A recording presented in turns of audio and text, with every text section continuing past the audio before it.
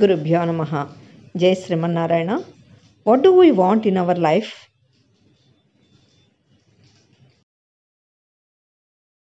want to lead eternal blissful life. For that, we need to come out of this karmic bond completely. In our material life, we want to get comforts, pleasures, and ecstasy of joy. This way, our Swamiji says, comfort and pleasure are related to the body, while bliss is related to the soul. Let us know the meaning of it. Comforts are related to body, pleasures are related to mind, whereas bliss is related to soul. In comfortable life, we need to have a comfortable bed and we need to have AC. All these things give us comforts to the body.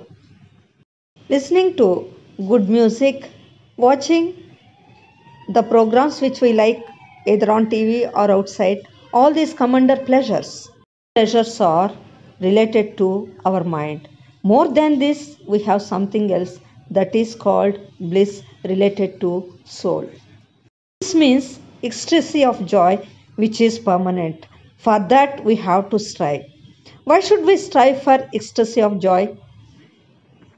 Comforts and pleasures are short lived because when they are available, we can enjoy those comforts and pleasures. After that, we can't. Bliss is soul deep. So, it is as permanent and as eternal as the soul. So, we have to strive to achieve it.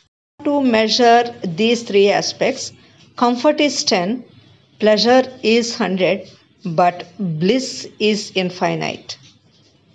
Infinite, we have 10 and 100 also. So, we have comforts and pleasures in the bliss. If we see the lives of saints, we can understand all these aspects. If we want to achieve all these things, we have to aspire to get rid of karmic bond. Thank you. Jai Srimanarayana.